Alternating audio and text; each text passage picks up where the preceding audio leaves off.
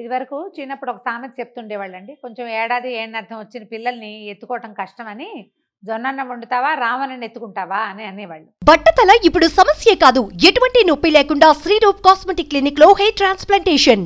అంటే రామని ఎత్తుకోవడం పిల్లాన్ని ఎత్తుకోవడం ఎంత కష్టం అంటే జొన్నన్నం వండినంత కష్టం అని ఎందుకు జొన్నలు బియ్యంలాగా వండలేమా అంటే వండలేం. దాన్ని నానబెట్టాలి దంచాలి చెరగాలి పొట్టంతా పోగొట్టాలి. ఉడకటానికి కూడా బియ్యం కంటే ఎక్కువ సమయం తీసుకుంటుంది. జొన్నన్నం వండటం కష్టం అనుకునేవాళ్ళం నా చిన్నప్పుడు ఈ గొడ్లకు పెట్టడానికి జొన్నన్నం వండేవాళ్ళు. ఏదో గిన్నెలో అలా నీళ్ళు పోసి బాదాన్ని ఒక రోజంతా నానబెట్టేవాళ్ళు జొన్నల్ని. దంపి అలాగా దంచి కొంచెం చెరిగేవాళ్ళు. ఎక్కువ చెరగదడం కూడా కాదు పచ్చజొన్నల్ని వండేవాళ్ళు.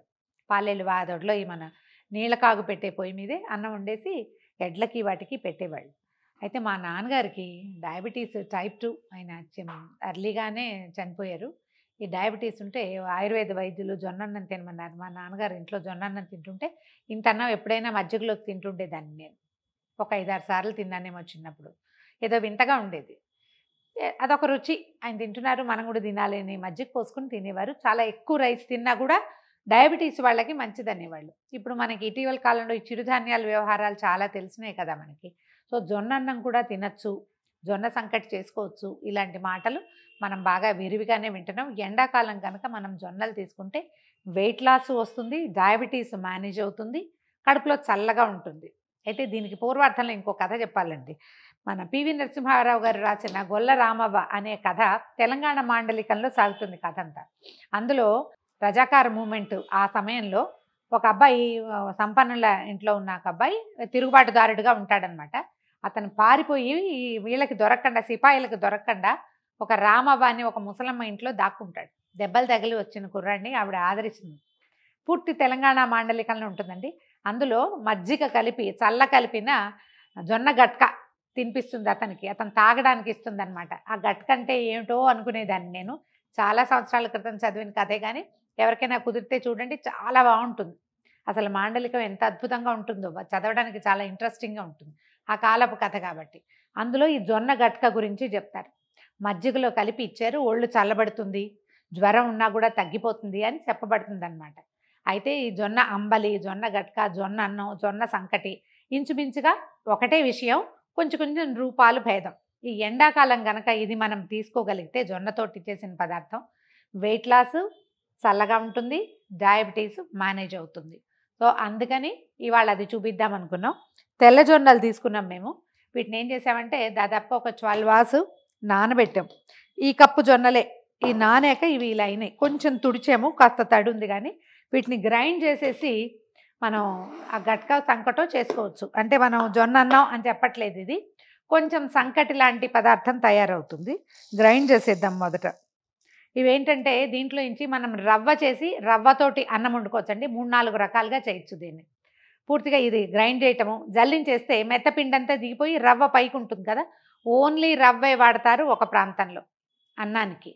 లేదా ఆ పిండితోటి కొంచెం రాగి పిండి కలిపి మనం అంబల్లాగా కాచుకోవచ్చు ఇంకో ప్రాంతంలో. కొంతమంది ఏం చేస్తారంటే దీన్ని మొత్తాన్ని గ్రైండ్ చేసేయటం కొంచెం బరగ్గా ఉంచి ఇక పిండి తీసే పని లేదు.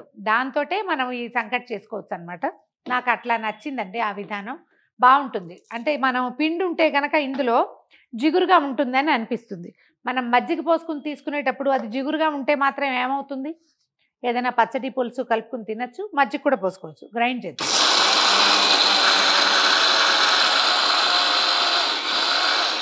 మనం గ్రైండ్ చేసిన తర్వాత ఇదిగో ఇలా వస్తుందండి. ఇది ఇంకా ఎక్కువ ఎక్కువ తిప్పిన కొద్దికి పిండి అయిపోతుంది ఇప్పుడు ఇందులో బరకుంది ఉంది మెత్తపిండి ఉంది మీకు బరకపిండే కావాలనుకుంటే దీన్ని జల్లించేసి ఆ రవ్వతోటి వండుకోవచ్చు. ఇది అన్నంలాగా కొంచెం గట్టిగా చేసుకోవచ్చు. బాగుంటుంది.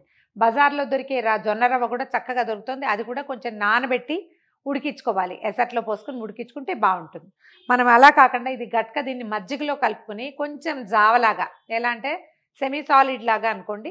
మనం రాగి జావలు కలుపుకుంటాం కదా అట్లా కొంచెం జావలాగా కొద్దిగా ఏదైనా పచ్చడి నలుచుకుంటూ లేదా కాస్త ఉప్పు వేసుకుని కనుక తీసుకుంటే చాలా బాగుంటుందండి. దీన్నే గట్క అని చెప్తారు. మజ్జిగలో కలిపేసి పెడతారు. రోజులో రెండు మూడు సార్లు తాగడానికి యూజ్ అవుతుంది. నేను దీంతోటే చేస్తున్నా. ఇలా కనుక మనకి పిండి రవ్వ కలిసి ఉన్న దానికి ఒకటికి నాలుగు పోయాలండి నీళ్ళు ఏం చేస్తామంటే మూడు నీళ్ళేమో స్టవ్ మీద పెట్టి మరగనిద్దాము. ఒక నీళ్ళని పక్కన గిన్నెలో పోసి పెట్టాను. ఈ పిండిని ఇందులో వేసి పెట్టుకుందాం.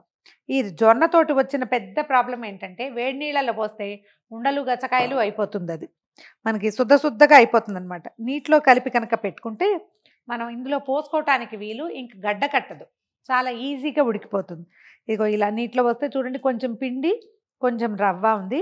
నీళ్ళల్లో పోసి పక్కన పెడదాం దీన్ని. దీన్ని నీళ్ళు మరగనిద్దాము. ఒక్క చిటికెడు ఉప్పు వేసుకుంటే సరిపోతుందండి. ఇది ఇంత ఎక్కువ చేసుకోవద్దు. ఫస్ట్ టైం చేసేటప్పుడు ఒక చిన్న గ్లాసు నానబెట్టండి. రాత్రి నానబెట్టి పొద్దున్నే మన చిన్న మిక్సీ జార్లో వేసేసుకుంటే ఇద్దరికి సరిపడా ఒక రెండు మూడు గ్లాసులు రెండు గ్లాసుల జావలాగా వస్తుంది. ట్రై చేసి చూడండి. ఇది ఒంటికి సూట్ అయితే కనుక జొన్న చాలా మంచిదండి. బ్లడ్ సెల్స్లో వాటర్ ఉంటుంది తడెక్కువ ఉంటుంది చాలా కొంతమంది. దాంతో కొంచెం దొందగా మెత్తటి ఒళ్ళుగా కనపడుతుంది. వాళ్ళకి ఆ బ్లడ్ సెల్స్లో వాటర్ తగ్గిపోతుందట. దాంతో మనుషులు గట్టిగా అవుతారు. బలంగా అవుతాం. మనకి పని చేసే క్షమత ఎక్కువసేపు నిలబడి ఉండటానికి కనప కావాల్సిన శక్తి నడుముకి బలము అన్నీ వస్తాయి. జొన్న ట్రై చేయాలి. ఇదేంటంటే కొంతమందికి మోషన్ టైట్ అవటం అలాంటి సమస్యలు వస్తాయి. కొంచెం కాన్స్టిపేట్ అవుతుంది. ఒక్కొక్కళ్ళకి ఒక్కో రకం. ఇబ్బందిగా ఉంటుంది. ఆ ఇబ్బంది కనుక లేదు అంటే మనం కొంచెం కొంచెం ట్రై చేస్తూ మన జీవితాల్లో ఇప్పటిదాకా జొన్న ప్రవేశించకపోతే స్లోగా దీన్ని రోజు విడిచి రోజు అట్లా కనుక చేసుకున్నామంటే మజ్జిగలో కలిపి తీసుకుంటే బ్రేక్ఫాస్ట్గా చాలా బాగుంటుంది. ట్రై చేసి చూడండి. నీళ్ళలో కలిపి పెట్టాను ఇదేమో కొంచెం నీళ్ళు మరగనిద్దాం. నీళ్ళు మరుగుతున్నాయి. ఒక చిట్కెడు ఉప్పు వేసేద్దాం ఇందులో. ఇప్పుడు నానబెట్టి పెట్టాం కదా మనం. ఇది ఎక్కువ నానాలని కాదు. ప్రధానంగా ఏంటంటే మనం రవ్వ ఈ వేడి నీళ్ళలో మరిగే నీళ్ళలో పోసేటప్పుడు ఉండకట్టేస్తుందని. కొంచెం సిమ్లో పెడదాం. ఇది దీన్ని కాస్త కింద పైన కదిపేసి పోసేస్తాం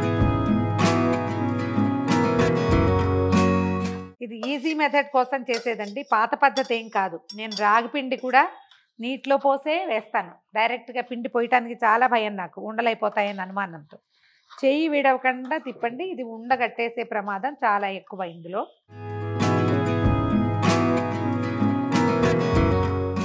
ఇవి తెల్లజొన్నలు పచ్చజొన్నలు ఇలా చాలా రెండు రకాలు ఉంటాయి కదండి.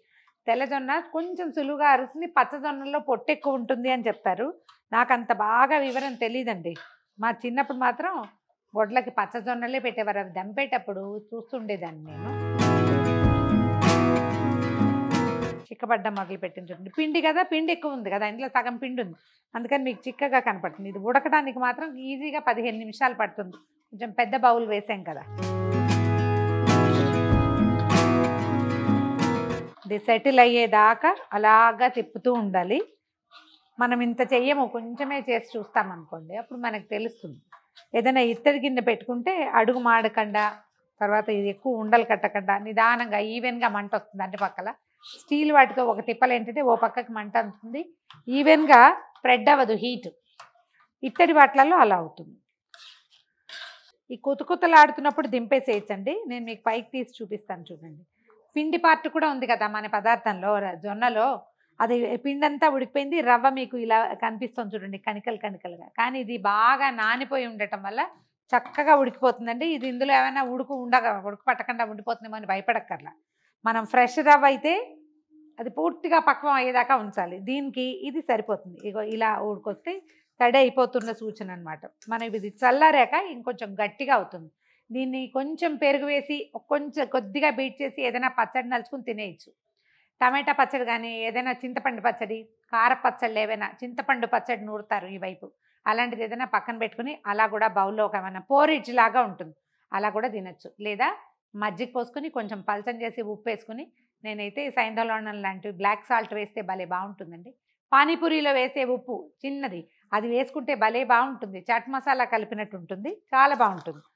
అలా ట్రై చేయొచ్చు. ఇంకా ఆపేసేయచ్చు. ఇగోండి కొత్త కొత్తలాడుతోంది కదా ఇంకా సరిపోతుంది. ఎంత చిక్కగా అయిందో చూడండి. చూడ్డానికే చాలా టెంప్టింగ్గా ఉంది. ఏదైనా కలుపుకుని తినేద్దాం అనిపిస్తుంది. ఇది చల్లారేసరికి కొంచెం గట్టిగా అవుతుంది. వేడివేడిగా తింటే నాలుగు తాటు ఊడిపోతుందండి. పొరపాటును కూడా ట్రై చేయకండి. వేడి దాంట్లో మజ్జిగ కలపద్దు. చల్లారాకే మజ్జిగ కలుపుకుంటే మంచిది హెల్దీ కూడా. ఆపేసేద్దాం. ఇంకా మొత్తం అంతా కొత్త కొత్తలాడుతుంది కదా సరిపోతుంది ఇట్లా. స్టవ్ ఆపేసేద్దాం. దించి పక్కన పెడదాం.